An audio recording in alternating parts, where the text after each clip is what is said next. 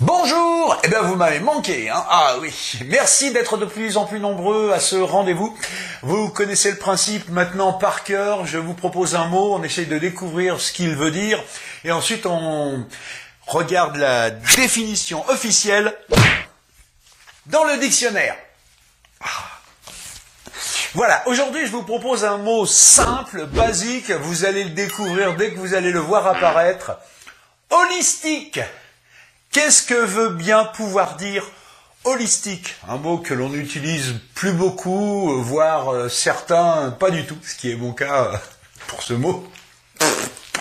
Alors, par contre, je sais ce qu'il veut dire. C'est simple, il suffit de le découper en deux parties. Oli, stick. Oli, les olives à l'apéro. Voilà, olive. Donc c'est un, un, petit morceau de euh, olive, oli.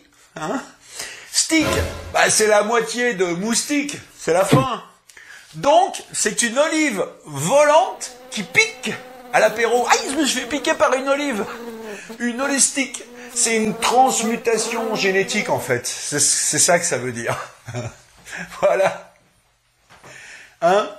Enfin, je crois qu'on va voir la, définition dans le dictionnaire dans un petit moment, c'est-à-dire tout de suite. Alors, oh, ma pile, je tombe dessus. Quel hasard. Alors, holistique, holist, euh, holist, holistique, ça y est, j'ai trouvé. Qu'est-ce que veut bien pouvoir dire holistique? Alors,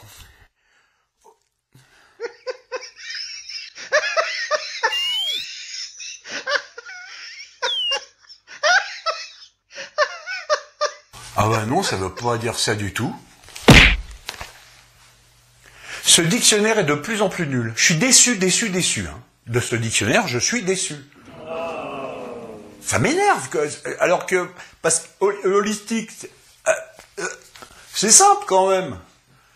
Bon, ben, désolé, on se retrouve la semaine prochaine, euh, ça, ira mieux. On se téléphone, on se fait une bouffe. Voilà.